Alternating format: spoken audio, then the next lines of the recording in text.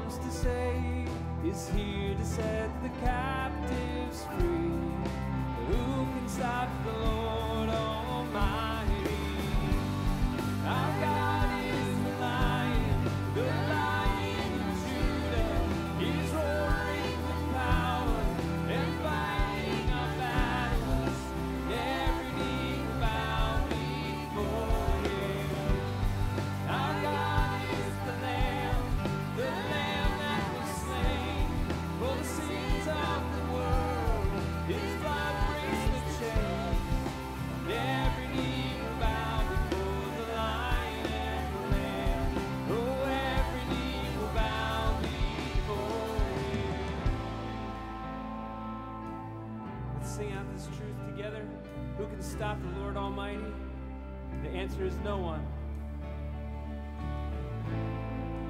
Who can stop the Lord Almighty? Who can stop the Lord Almighty? Who can stop the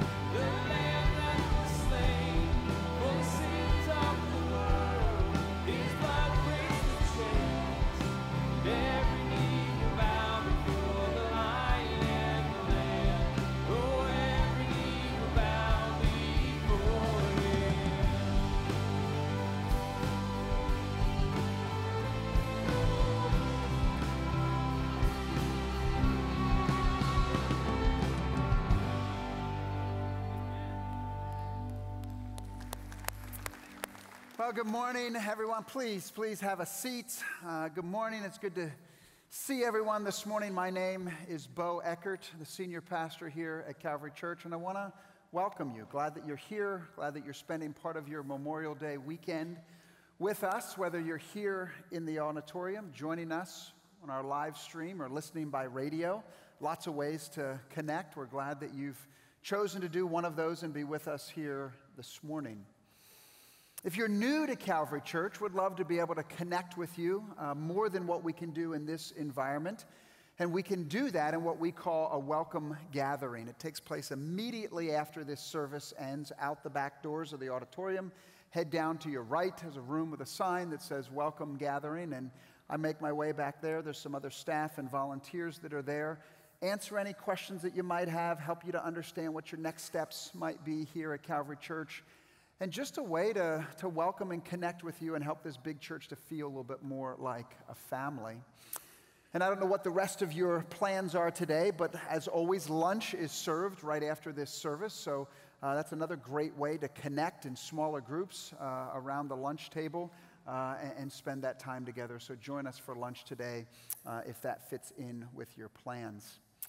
Now, just one uh, housekeeping uh, issue that I need to address here this morning. For those of you that have a My Calvary account uh, here at the church, uh, our online directory, online giving, uh, children's ministry check in, you've been receiving emails about some changes that are coming there, and they go into effect next Sunday, June 3rd. Uh, so if you have questions about that, if you have questions about the emails that you've been getting, um, there's some information in the bulletin this morning in the Did You Know section, and you can always stop by either of the connection centers um, to, to get your questions answered there. Uh, so, our new check in system for children's ministry will begin next Sunday. Um, Besides that, there's also other information that we have for you in the bulletin. We put that in your hand each and every Sunday, important information in there. Live Sent elective on how to effectively share your faith is coming up for those that are interested in that. Another section that's in the bulletin that I uh, want to draw your attention to there's a praying uh, section in there where we put uh, names of folks that are in the hospital and people that have lost loved ones. And uh, just recently, we've had two staff members that have lost loved ones. Uh, Ricky Batts, who's part of our uh, facility staff, his sister in law passed away. And John Fry, our pastor of worship ministries, uh, his mother uh, passed away. And he's Uh, taking care of the details, getting ready for, uh, for that service there. So we want to continue to pray for, for Ricky and for John and their families uh, and for others that have recently lost loved ones. And Speaking of remembering, um, as I mentioned, it is Memorial Day weekend. And I think there's something in us, something that God has put in us that we want to remember. I have a picture of my grandfather who served as a Marine in World War II in the Pacific. I have a picture of him in uniform on my desk here in my office because I just want to remember him and remember his service uh, to our country and remember who uh, he was as a person. But when we think about what we are remembering, it's more than just memories on Memorial Day. It's remembering individuals who gave their life for a cause that was greater than themselves. And so, just another way of saying remembering is to say, let's make sure we never forget. So let's watch the screens together.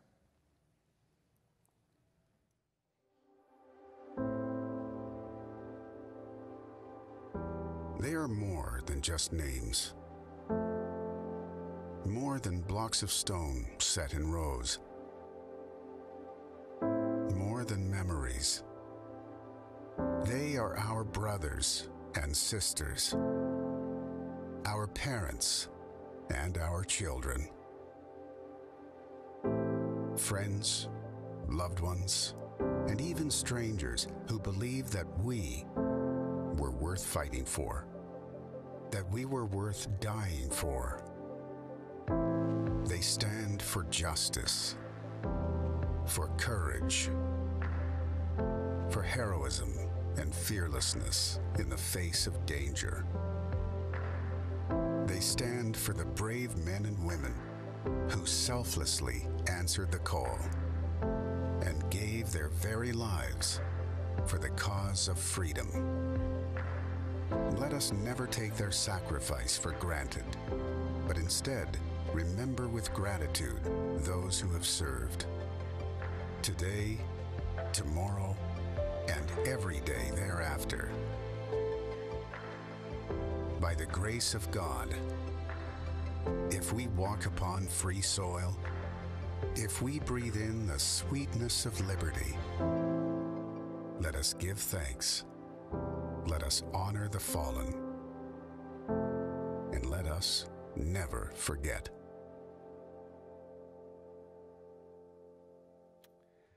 As a way of honoring those that paid that ultimate sacrifice, I'm going to pray. But as I pray, I want to invite those of you that are able to stand with me um, as I pray. So if you're able, please stand as we pray and honor those that gave their life this Memorial Day weekend. Father, our hearts are humbled this morning as we think about service and sacrifice and the loss of life. Memorial Day gives us the chance to pause and to think of those individuals, those individuals that gave the last measure of full devotion for their country, to remember those that laid so costly a sacrifice on the altar of freedom. They were individuals with unique stories, so different from one another, yet at the same time so much alike. Today, we pause to remember. We grieve, we mourn, we give thanks. We ask that you would bring comfort and love and peace to their families and friends that only can come from you. So today and every day, we honor the fallen and we will never forget their sacrifice. And Father, as we think about remembering their sacrifice, we can't help but lift our eyes and our hearts to the sacrifice of the Lord Jesus, who you sent to give his life for all of us, for the sins of the whole world.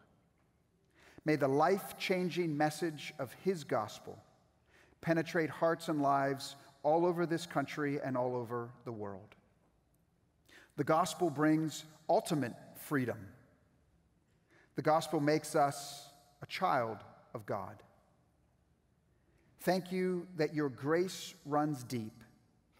And in the message of the gospel, I am who you say I am. Unite us around that message and that truth. In Jesus' name, amen. Thanks so much. You may be seated. And as you are, I'm going to invite our ushers to come so we receive our offering as we continue to sing and worship together.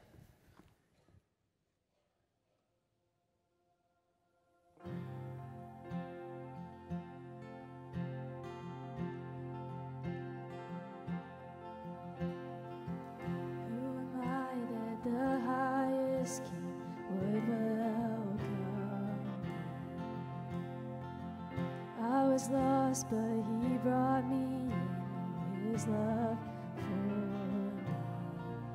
Oh, his love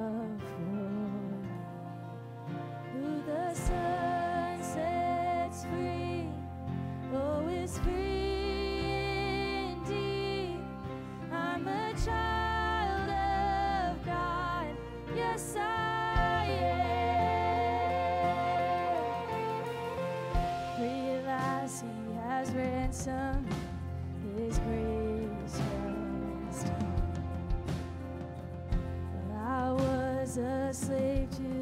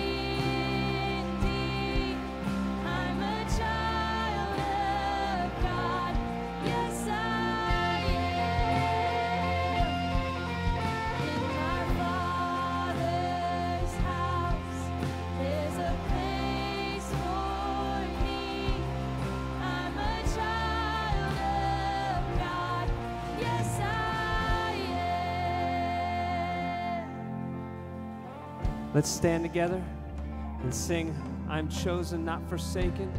Proclaim, I am who you say I am. I am chosen, not forsaken.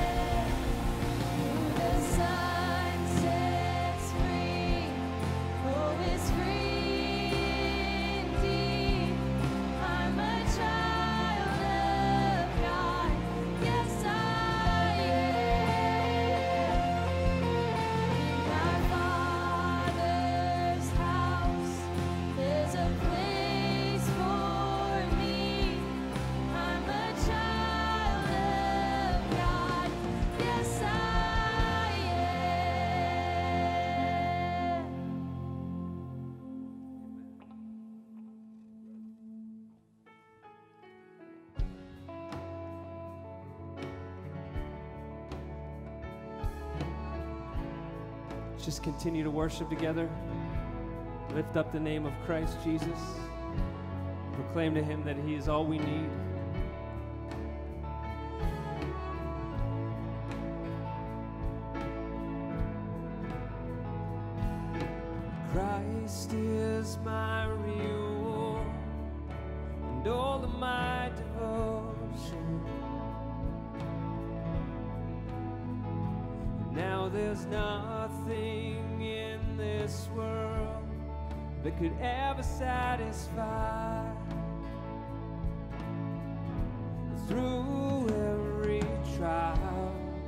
my soul will sing, no turning back. I've been set free.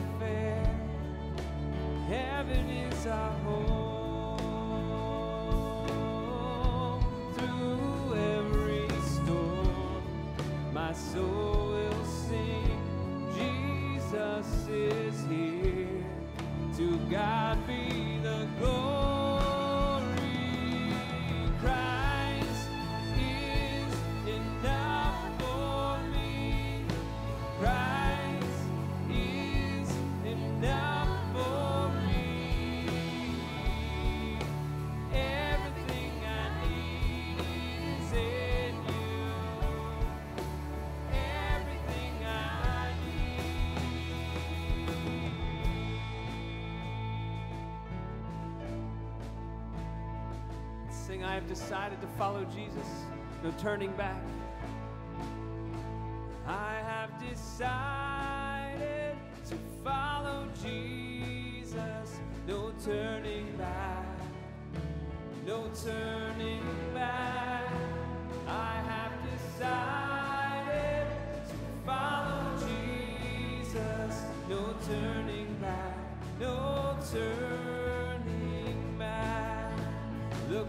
before.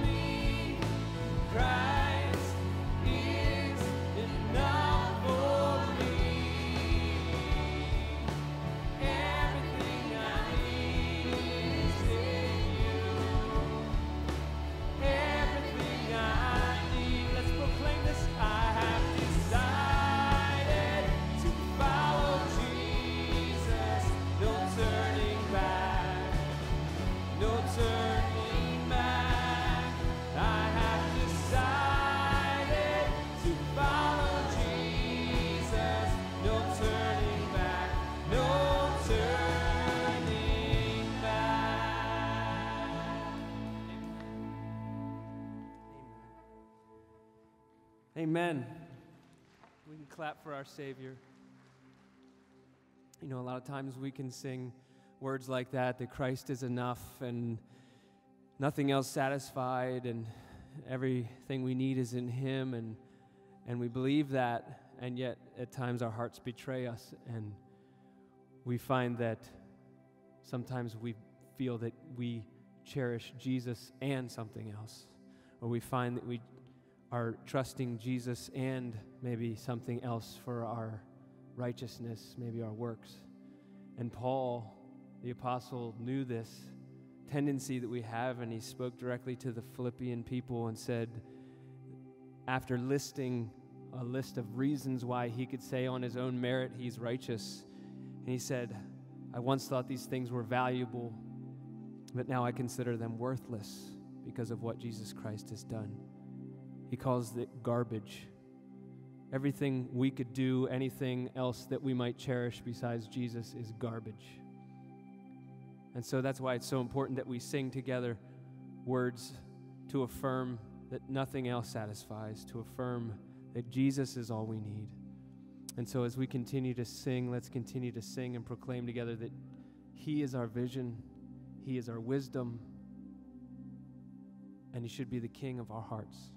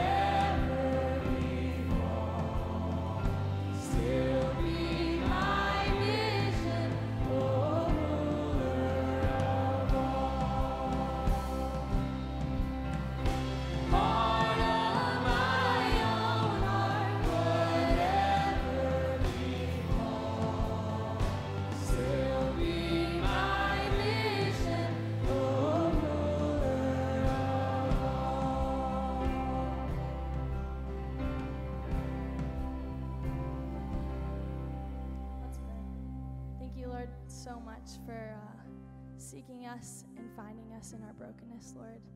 Um, thank you so much for giving us the reminder that nothing in this world can satisfy except your love, Lord. Um, Lord, I pray that not only today, but every day we would follow after you. And thank you for finding us, Lord. Amen. You may have a seat.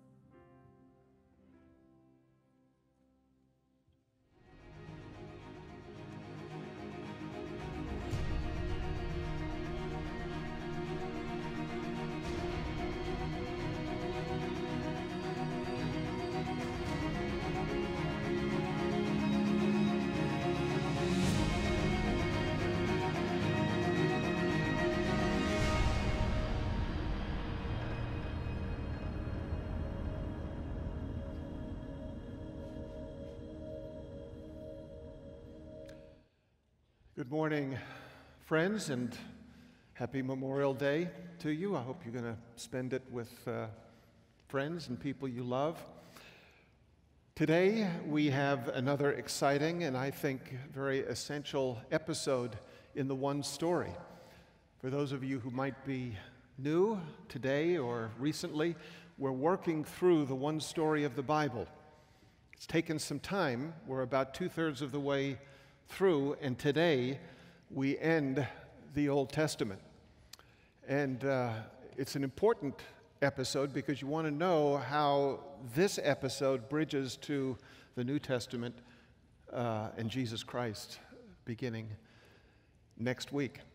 Uh, if you've missed previous episodes or you want to know more about the one story, uh, browse around in the overlook area of the lobby, and there are a number of aids there for you. If Neil Diamond was writing songs and performing them in the Middle East in the 6th century BC, by the way, Neil Diamond is Jewish, so it's not unlandish to think that he might be doing something like that. I think one of the songs that would have hit the top of the charts is this one. Far, we've been traveling far. We're coming to Jerusalem. We're coming to Jerusalem. Bum, bum, bum. We're coming to Jerusalem today, or something like that. It would have been something similar. No, no, no. Don't try to launch me into a new career. Uh, it's too late. Too late for that.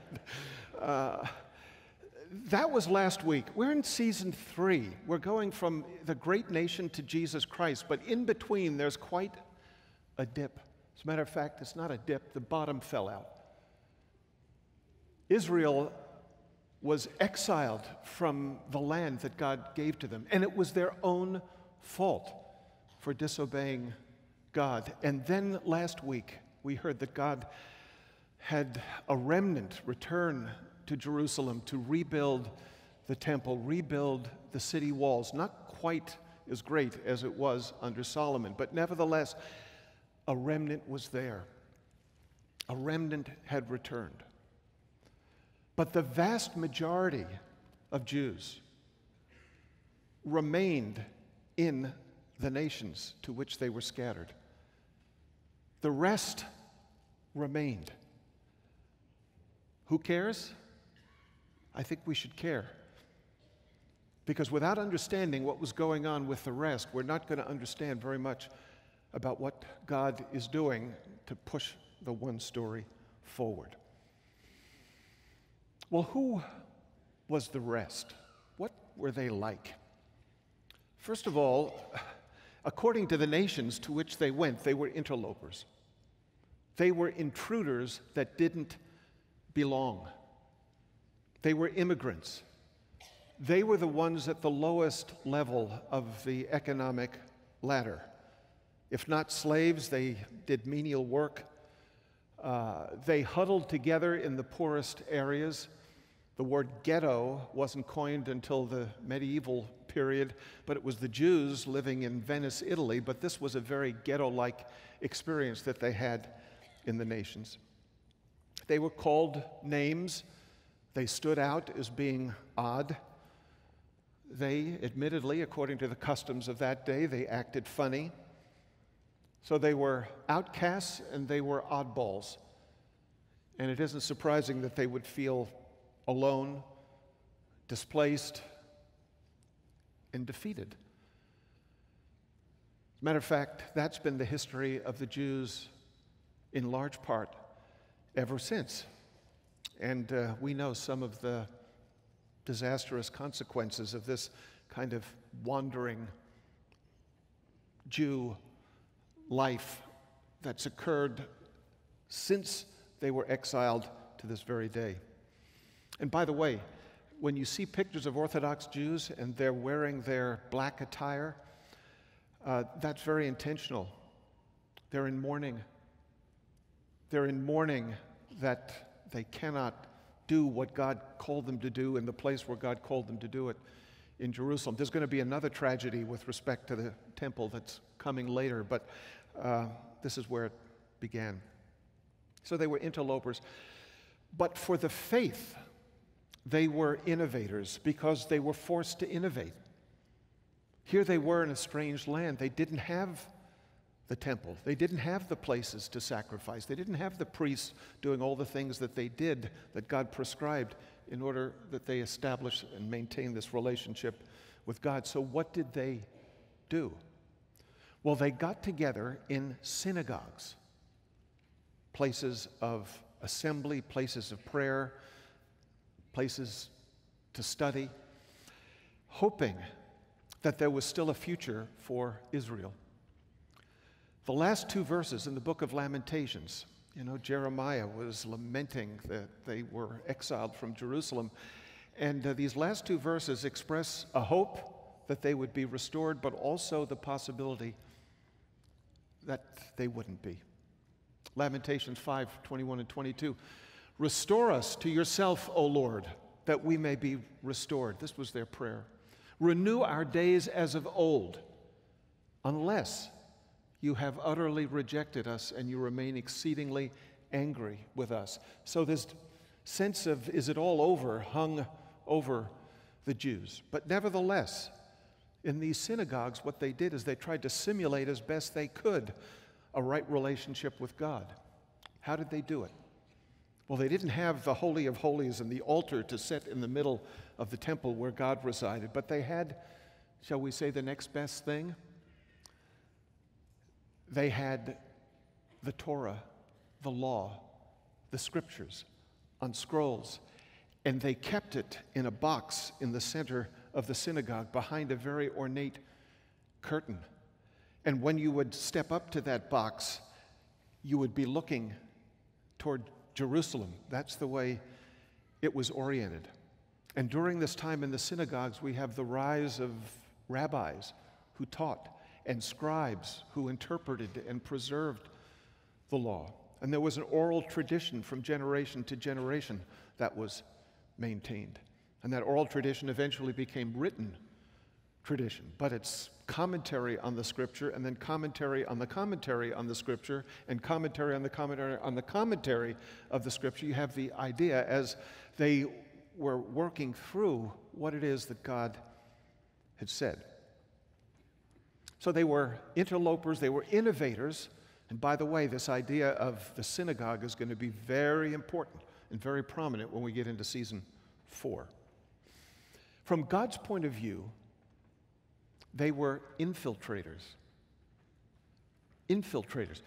Remember the promise to Abraham that began season two. Abraham, in you, all the nations will be blessed. It's not about you and your progeny ultimately, it's about all the people of the whole world. That's where my interest is. That's where I'm going with this. That's who I love. That's who I'm reaching out to.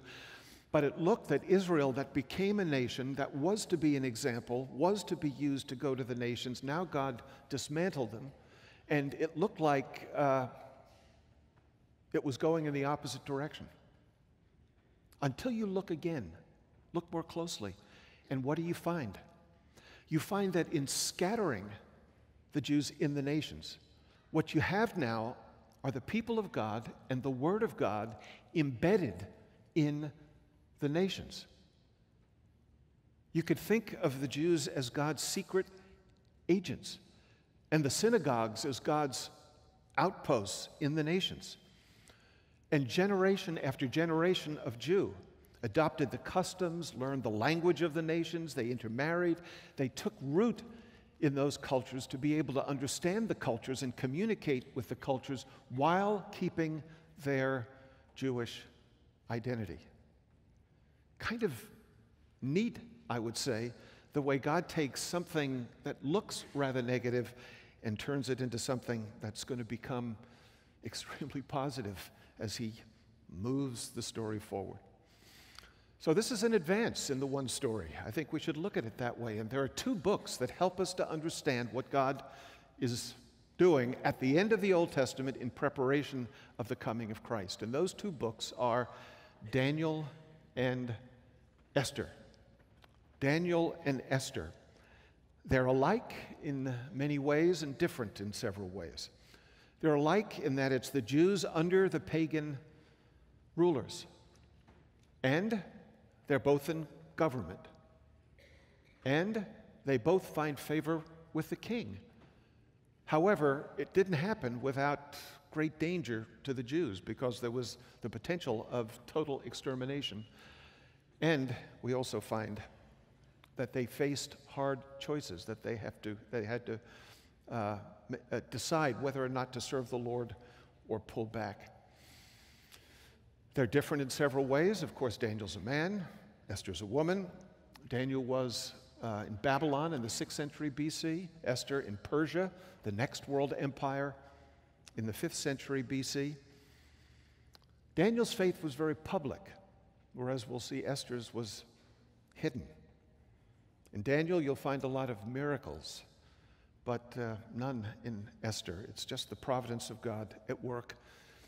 Daniel was a prophet, he's the last of the four prophets, but Esther, at least at the beginning of the story, is just a common Jewish girl, ordinary person. So let's take Daniel first and then Esther. What we find in Daniel, yes, you have uh, the king having dreams, and the fiery furnace, and the lion's den, and the prophet having visions of things to come, and you might think of all of those in Daniel, and they're there. But the thing that stands out in Daniel, I think more than anything else, is that there are people of God in the nations whose faith is steadfastly placed on God. And Daniel was a standout of this, as well as his three friends, Shadrach, Meshach, and Abednego. They stood in that hostile environment unapologetic and unbowed, even when it got tough. So they had faith in God. They had faith that God would guide them. Right at the beginning of Daniel, we read that he resolved that he was not going to defile himself. And that's maybe the first step in guidance. Don't be conformed to the world. We have a new allegiance, and God, I'm going to follow you. And Daniel and his companions did that. And then we also read that God gave them gifts, and they used those gifts.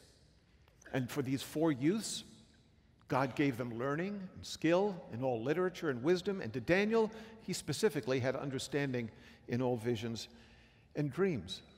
And they were guided by God and that they had a gift and they were resolved to exercise that gift for the glory of God. They took opportunities as they came to them. Uh, one opportunity was the king had a dream, his assistants couldn't figure it out, and Daniel, knowing the bigger picture, he stepped in and he interpreted that dream, but the interpretation of the dream had a little difficulty with it, at least respect to a, a, king that he wanted to have a good relationship with, because he had to tell the king, There's a king higher than you. And he talked about the Lord. He talked about the Lord openly to the king. And he said, The God of heaven will set up a kingdom that shall never be destroyed, nor shall the kingdom be left to another people. It shall break in pieces all these kingdoms, the kingdoms of the world that precede it, and bring them to an end. And it, that is the kingdom of God, shall stand forever. And he said that to King Nebuchadnezzar, though uh, Nebuchadnezzar might not have wanted to hear it. They were also trusting in God's protection for them, but uh, in an interesting way. Not that He would protect them at all costs, at least in the way in which we think of protection. Nebuchadnezzar, uh, as most kings of that day wa- uh, were, he was rather uh, proud, and he, he set up a, a golden image of himself 90 feet tall. And he decreed that uh, you either bowed to the image or you burned. Bow or burn, simple choice. And the Jewish law says you don't bow to idols. So when everybody's bowing, there are some Babylonians looking at this group not bowing, and they happen to look at Shadrach, Meshach, and Abednego, who had become leaders of a sort uh, at the time. And uh, that didn't sit well with them, so they told the king, and the king wasn't happy with it either. And he was furious, and he said, Look, I said, bow or burn, you're about to burn. Who's going to save you? And Shadrach, Meshach, and Abednego said something rather profound. Though they didn't know what the future was in that instance for them, this is what they said. If this be so, that is, King, if this be so, what you're saying, our God, whom we serve, is able to deliver us. We have total confidence that He can from the burning fiery furnace, and He will deliver us out of your hand, O King. How? They didn't know. But if not, if He chooses not to deliver us, if we are consumed by the fire. Be it known to you, O king, that we will not serve your gods or worship the golden image that you have set up. We don't know specifically what God is going to do. We know he can do it. We're asking him to do it, but if he doesn't do it, we know that and we trust in his protection of it of us ultimately. So whether in life or in death, he will protect us. That needs to be our attitude too. He's going to guide us, he's going to protect us. And we also have a healthy faith, I would hope, in God's sovereignty over things. He's the, he's the King of kings, He's the one who is over all, over all nations. It looked at this point in Israel's history that the bad guys were winning. But Daniel knew different. And in the last half of Daniel, we have these various visions. And this is one of the visions that he had from Daniel 7, verses 13 and 14. He said, I saw in the night visions, and behold, with the clouds of heaven there came one like a son of man. So he's looking ahead, he's thinking of God's rule over all the nations. And he says there, there's one coming like a son of man. And he came to the Ancient of Days and was presented before him. And to him was given dominion and glory and a kingdom that all peoples, nations, and languages should serve him. So they had a faith in the sovereignty of God, that he was the Lord of all, and that uh, he has a plan and he's working out that plan. And they also had faith that, that he was working out that plan according to his timetable. They had faith in the sovereign God's timetable. In Daniel 9, we read about a period of time. It's called 70 weeks. He's likely talking about 70 weeks of years. Uh, and uh, in those weeks, there's a certain kind of division that's taking place but the overall impression is that Daniel believed, whether you can understand exactly what those periods of time were, that Daniel believed that God was guiding his plan, he was superintending his plan. 70 weeks are decreed about your people and your holy city to finish the transgression, to put an end to sin, and to atone for iniquity. He says, I've got a timetable in place, and the end of transgression and iniquity, sin, that's coming to bring in an everlasting righteousness, and then an anointed one shall be cut off. That's the means by which that would happen. We're getting closer to the New Testament, we're getting greater clarity with respect to what's happening. So here we have in Daniel people who trust the Lord to guide them, to protect them, and also Trust that He is the Lord of all, and His timing and His sovereignty over all nations is unquestioned. That's terrific. And we have that in Daniel. But when we move to Esther, we have a, a different feel, a different sense, a different atmosphere altogether. Because what we find in Esther is a silent God. And I put silent in quotes here, uh, and you'll see why in just a moment. But Esther's a strange book in the Bible. No prophet is present, no scripture is quoted, no God is mentioned, no prayer is offered. Although there's fasting going on and there's Jewish identity which is being maintained. But we have no new speaking of God into a situation. We just have a story within the one story, a personal story, Esther's story. And uh, I think we need to think of Esther's story like we would think of our own story. He's silent in Esther, but he keeps speaking. How does he keep speaking? Well, he speaks through Mordecai, he speaks through the Jewish tradition. Even though the Word of God isn't there, the Word of God and the truth of God is active everywhere in the book of Esther. The prophet Isaiah said, Isaiah 55 11, My word, that is speaking for God, will not return to me void. When it goes out, it will accomplish the purpose that I have for it. And uh, the Hebrew writer in the New Testament said it even, uh, I don't know if you say more clearly, but uh, certainly in a way that we can understand. As the Holy Spirit says, today, if you hear his voice, do not harden your heart. The Holy Spirit says, present tense, and he's quoting a passage from Psalm 95, which was written a millennium before. Once God speaks, that word is alive, it keeps speaking. He's not saying something new, but what he said already has life and speaks and is totally sufficient.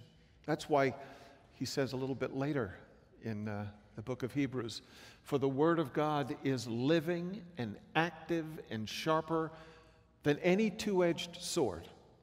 It pierces to the division of soul and spirit, of joints and marrow.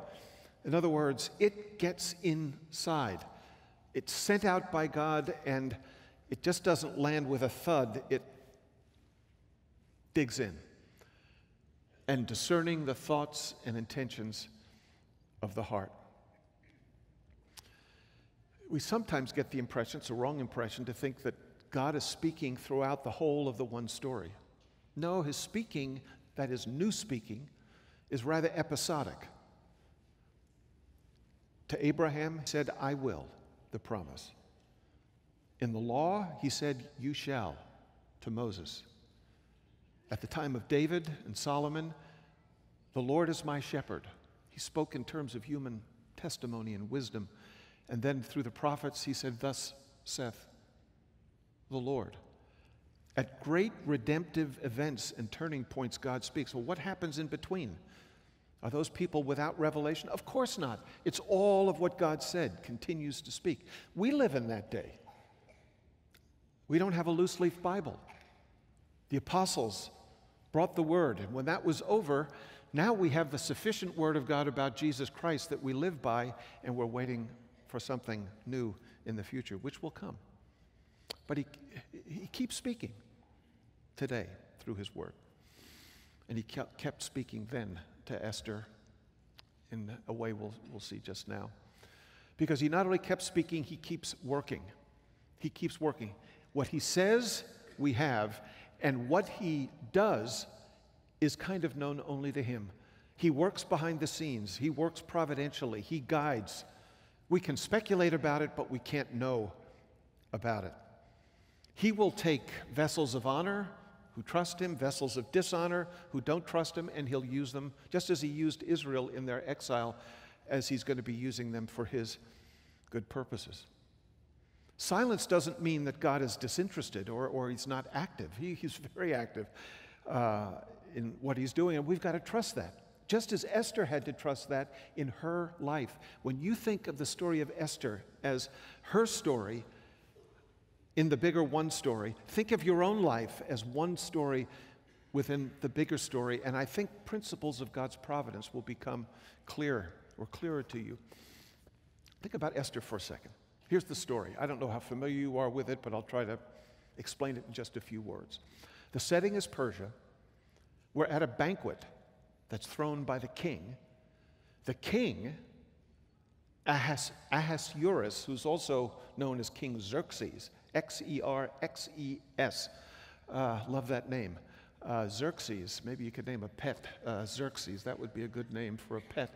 Uh, but here he was, and he said, maybe he had a little bit too much to drink and he wanted Queen Vashti to parade, uh, probably lewdly, in, in front of his guests. And she said, Not doing it. And he said, You're no longer the queen. And then he searched for a new queen. And it just so happened that he chose a young girl named Esther. Just so happened. If you read through the book of Esther, you'll come across, if not those words, that sentiment just so happened, just so happened, just so happened. This happened, then this happened, then this happened. Just a story of happenings. You say, well, we look back and we can see the meaning. Yes, but while she was going through them, she didn't know, and we don't know the meaning behind them, but somebody is giving great meaning to it. It just so happened that uh, Queen Esther had an uncle named Mordecai. And it just so happened that Mordecai heard that there was a plot against the king. And he told Esther, Esther told the king, and Mordecai was raised to a level of prominence. Mordecai was a Jew, and it just so happened that Mordecai withheld the fact that Esther was also Jewish. Now, there's a villain in the story, and his name is Haman. And Haman was the king's right hand man. And when he saw Mordecai being lifted up, he was green with envy. And he said, I've got to bring Mordecai down. And the way he decided to do it was with a little payola to the king. And he said, You know, there's people here who don't bow to you. Same idea. They're following another law, they're not following your laws. Uh, what I'd like to do is exterminate them. And the king said, Attaboy, Haman. And it looked pretty bad. And Mordecai got word of this because the decree went out, and he went to Esther and said, Esther, this is your moment. You've got to go to the king and you've got to say, Stop this. And Esther said, You've got to be kidding me. Because if I go to the king and he doesn't send for me, unless he holds out the golden scepter, it's curtains for me. And it's at this part of the story that we have the whole crux of Esther. And I want to just work through several verses here because it's about the providence of God. It's about what God is doing in lives when we don't know and what we should do, which is to trust the Lord even when it doesn't look like things are going our way. So in Esther 4, Mordecai told them to reply to Esther because it all, this all happened through uh, messengers. Do not think to yourself that in the king's palace you will escape any more than all the Jews. Your Jewishness is going to be revealed and you're going to get it too. For if you keep silent at this time, relief and deliverance will rise for the, for, for the Jews from another place. God is able to do that. His promise indicates that God will do that. It will happen, but you and your father's house will perish. No doubt about that. Mordecai's getting very theological. But this is something Esther needs to know. And I love these three words. And who knows? Mordecai I don't know what's going to happen. I have no revelation from God. I have no assurance of what's going to happen. Who knows? I don't know, Esther, you don't know. Nobody knows whether you have not come to the kingdom for such a time as this. You're here, you can, God wants you, go. Who knows? Nobody knew. But what did Esther do? Then Esther told them to reply to Mordecai, and she probably went through some heart searching. Go, gather all the Jews to be found in Susa, and hold a fast on my behalf.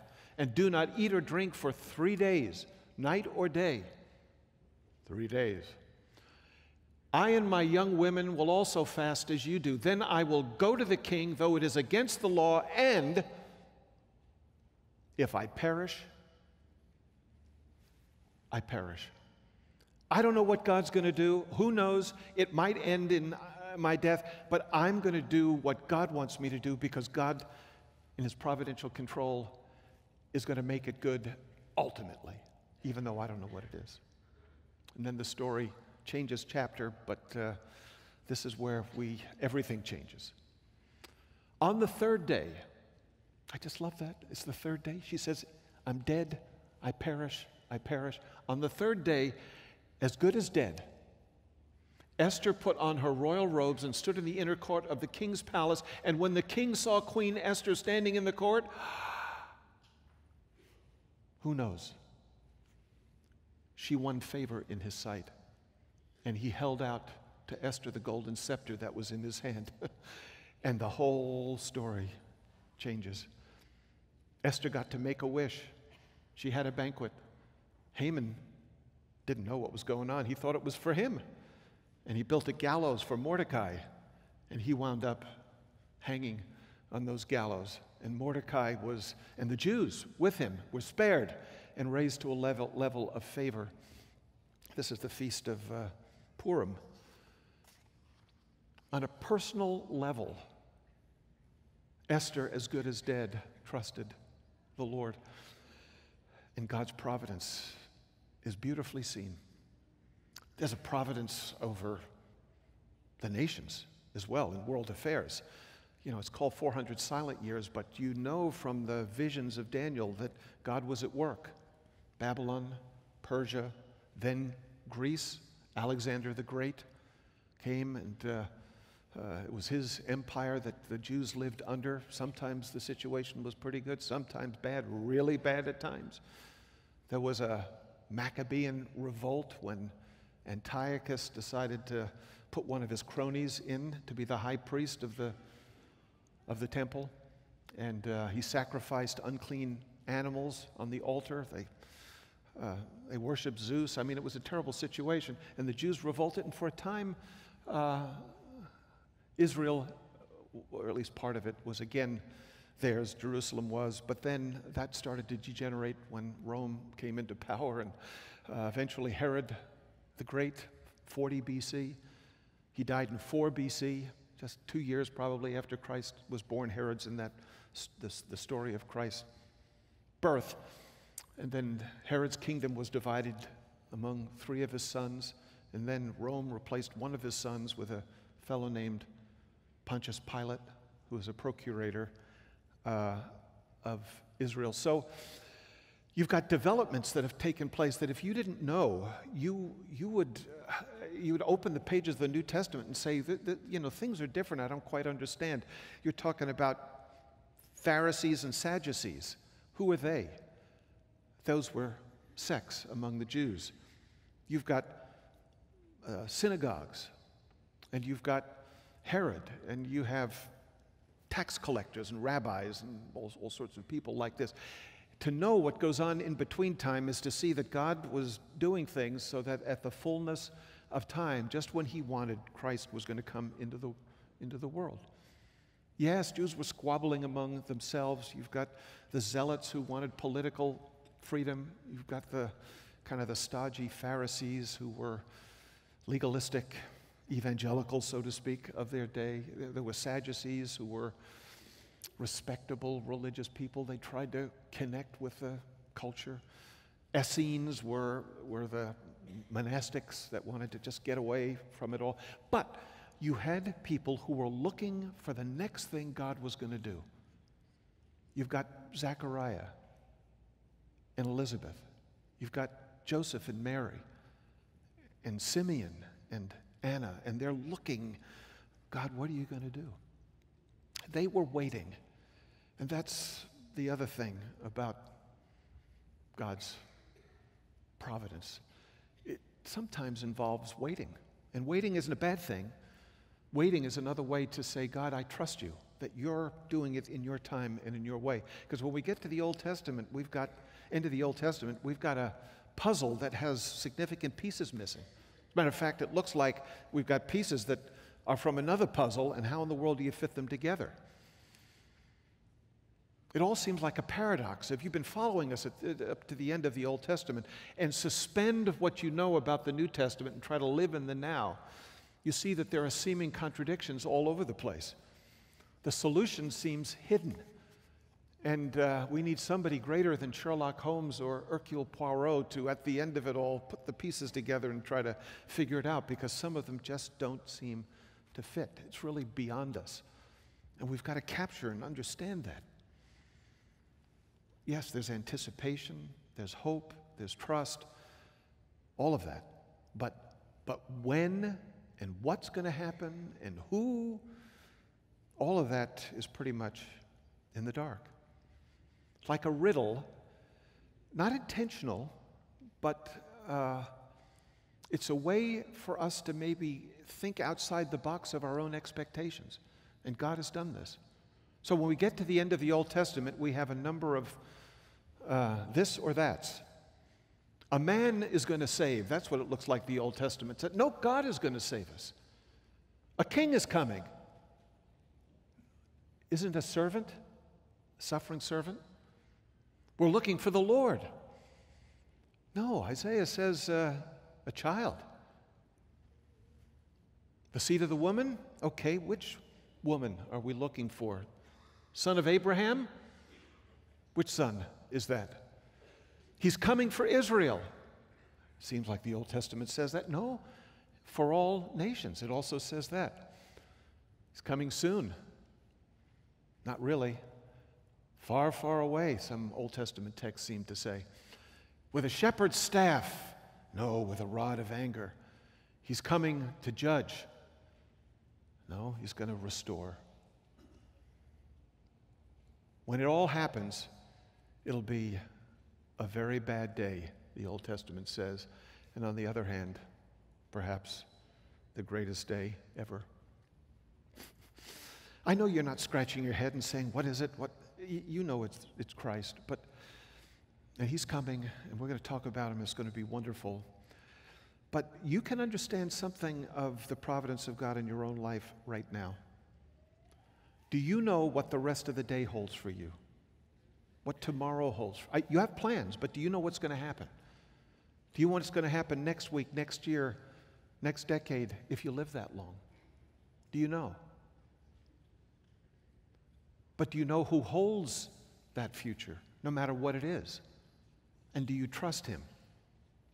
That's the kind of providence, uh, faith in the providence of God that we need to exhibit. Our life is a mystery, it is a puzzle. And you don't have all the pieces together, and I don't have all the pieces together. But God has all the pieces together. That's why the thing that we do is we trust Him. Trust and obey, you know, for there's no other way to be happy in Jesus, is to trust and obey. Let me give you a verse as we go on our way today. I love it when people give me a verse. Uh, this verse uh, happens to be one that applies to all of us. And it's one of those great comprehensive verses that says something wonderful about God's intentions for all of us and personalize it for you. For God has not destined us for wrath. Isn't that good to know? but to obtain salvation. I want it. How? Through our Lord Jesus Christ, who, this is the way he made it happen, who died for us so that whether we are awake or asleep, we might live with him. Awake or asleep is another way of saying in the body, alive here on earth, or dead and alive with Him wherever He is. That's the promise that He's giving to all of us so that we can trust that and all of the little pieces of life that we can't quite understand all the detail of, we're willing to say, we'll let Him have all of that. It's, it's a bit of a paradox, but it's one that we have to embrace. You might think right now, I'm, uh, I'm in a fiery furnace. I'm in a lion's den.